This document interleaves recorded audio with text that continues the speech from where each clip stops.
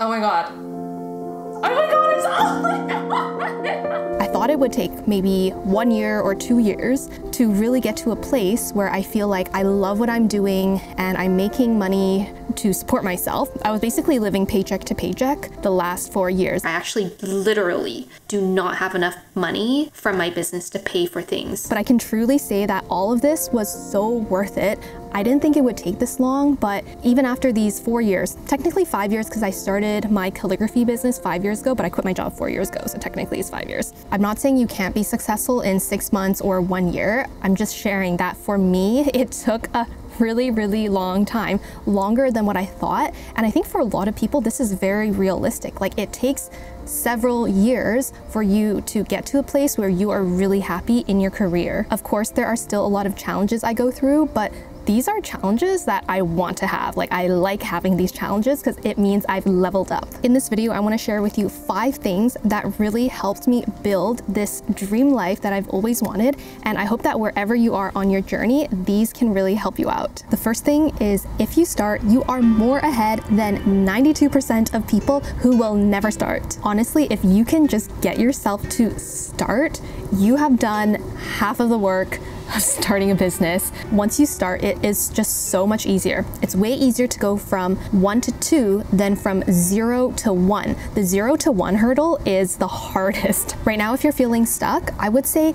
start by doing what feels easy for you and what makes sense and what doesn't feel like just such a struggle. For me, when I started my business five years ago, I thought that was starting a calligraphy business and selling greeting cards. Uh, design some stuff, print some stuff, I write some stuff, and then buy some envelopes. Like it seems like not that hard to do compared to me starting a blog and monetizing the blog and making passive income. Like I thought that was really, really hard to make money. I had no idea how to monetize the blog, but I thought, okay, I can sell, you know, a card that's like $5 to people. I can probably get my friends to buy it. And I'm just gonna start from there. I'm going to register my business and design some stuff, see if I can print it, see if I can sell it, and then I'm just gonna go from there. For you, maybe that's starting an Etsy shop, maybe it's YouTube, maybe it's freelancing or tutoring. Right now, you just need to start. Something is better than nothing. It doesn't have to be perfect something is better than nothing. Oh yeah, you can also start, but just don't tell people. I actually did that. I started the calligraphy business. I started an Instagram in secret and I didn't tell anybody for like a week. There is no right time to quit your job. Some people say don't do it till you have made your income back from your side hustle. Some people say do it right away or else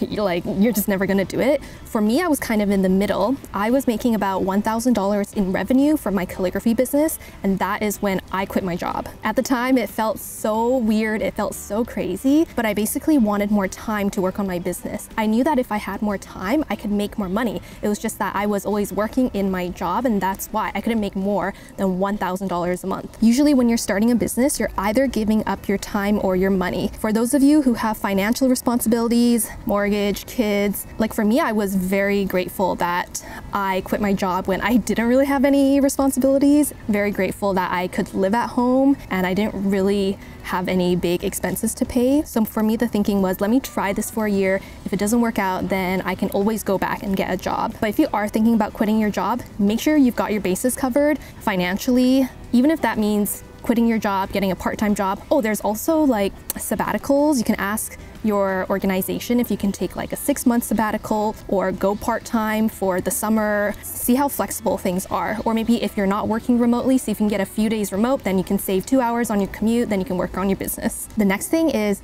I really had to learn how to manage my mind. After I quit my job, it wasn't managing my time that was really difficult or managing my energy. It was actually managing my mind and all the stress and anxiety and all the worries about, oh my gosh, I'm not gonna make money. Oh my gosh, like, I don't know if I can do this in six months and make money and prove to my family that I don't need to get a job. There were a couple people in my life that suggested I start meditating and oh my god, it has been so life changing.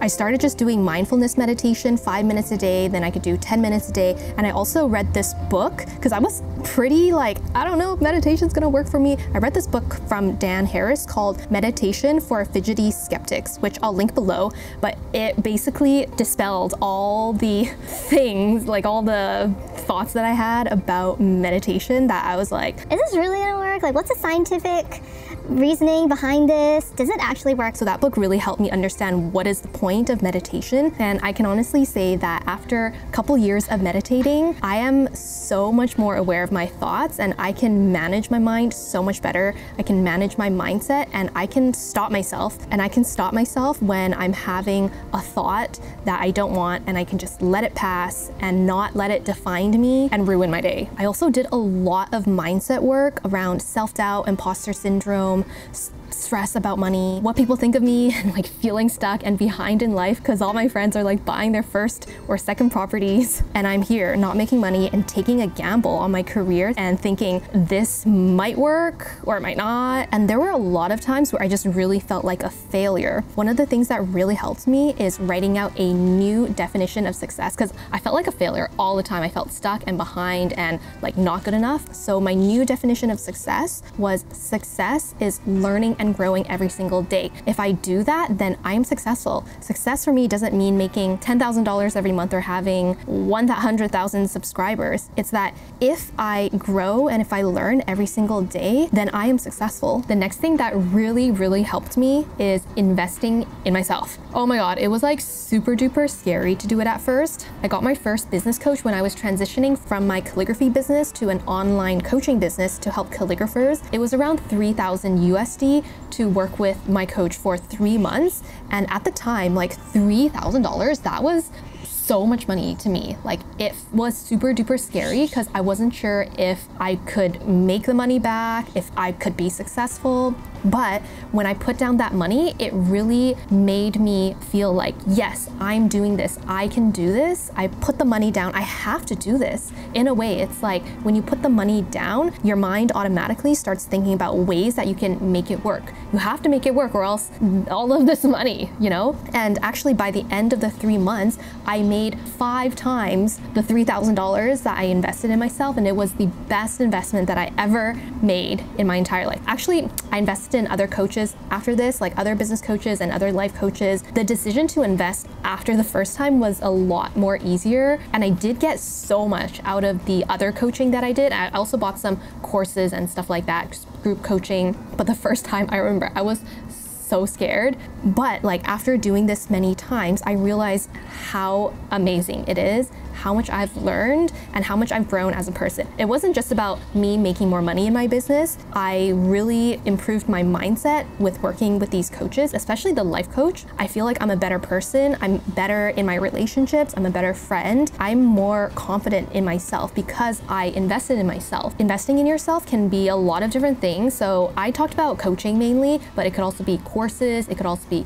books, resources, joining some kind of mastermind group or stuff like that you decide what feels right for you and what you think will really help you in your business or in your career and take that risk. Maybe if you spend $1,000 on a course, you might not get make $1,000 back in the next couple of months, but your mindset will be changed and that will be so much more worth the $1,000 that you spent because these mindset changes can last you a whole lifetime. Maybe it's worth like $50,000. The mindset shifts or the lessons that you learned through whatever thing you invested. The next thing is do not be scared of pivoting. For me, I made two big pivots in the last four years. So it was my calligraphy business going to a coaching business and my coaching business to a content creation business, which is basically my YouTube. And even though I was making money with the calligraphy business, I was mainly teaching calligraphy workshops. And then with the coaching, I was making money. I felt like I wasn't meant for this basically. And that's why I never felt like I made it because the stuff that I was doing, even though I was making some money from it, I did enjoy. I do enjoy calligraphy. I do enjoy coaching people,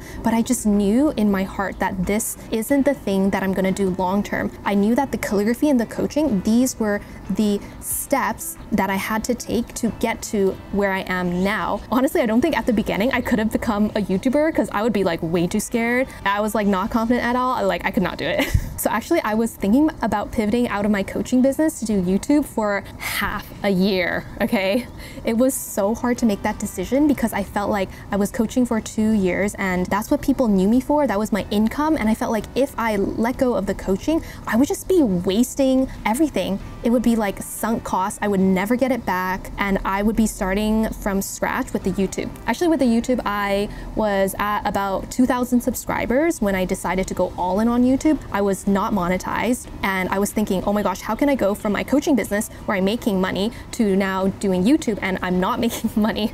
And so that pivot was actually the scariest for me. But if you know you are meant to do something, you are gonna make it work. So when I pivoted, I did a bunch of random side gigs like driving for Uber Eats, pet sitting, making TikTok videos for a company. And that was enough cash to pull me through until I started my Etsy shop and then the YouTube started to get bigger. The next thing that really helped me is finding a community of people and having support in my business. And sometimes this means letting people go. There were some people in my life where I felt like they were draining my energy, they were not supportive of my business, and I just felt suppressed whenever I was with them and I felt like I couldn't be myself. So it was really hard, but I had to let those people go and create more space for people who are really supportive of me and they really cheer me on. They're happy for me when, even if I have like the smallest win. And in the past year or so, I've been connecting a lot more with people who are creatives and content creators. And it's been so nice to be able to talk with them and talk about our problems and like share our ideas because I feel like they really understand me and I feel really supported and I feel like I'm not alone in this. So if you're looking for a community, you can definitely find friends who are doing similar things or make new friends who are doing similar things, but you can also join group coaching